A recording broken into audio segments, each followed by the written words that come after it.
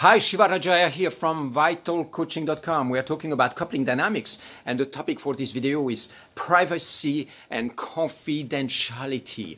Another core quality that you want to anchor in the dynamics of your couple or your relationship is the fact that when you're sharing something with your partner, you know that your partner creates a container of confidentiality.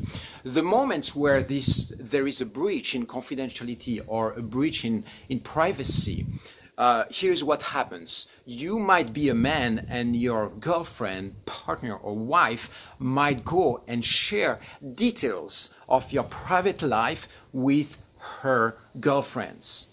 So when that happens, here is how you can feel.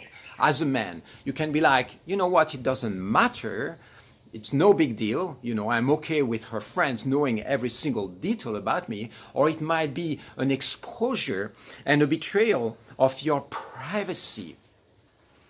And so when uh, you are a couple, it's something that you have to decide whether you want to anchor into your field or not. And sometimes there is a breach in the privacy. There is a betrayal of privacy and confidentiality, but it's not a big deal, you know. Maybe you shared something with your partner, with your lover, and um, they went around and just talked about it with, uh, you know, their parents or, or friends. Um, but there are going to be situations where you might feel that it is a big deal. For instance, you might share, I don't know, a business idea with your partner, and you want this to stay within the container of your uh, of your couple. You don't necessarily want this to go out there. So sometimes in your couple, in your relationship, you are going to have one or two people who are really the people that you trust, with who you are going to share sometimes intimate stories about your life this might be true for you as a man or for you as a woman,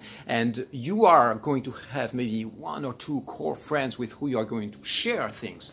But in general, imagine that you know your partner reveals something to you, something that is really private, that might be sensitive, and then you go and post, uh, make a post about it on some social network.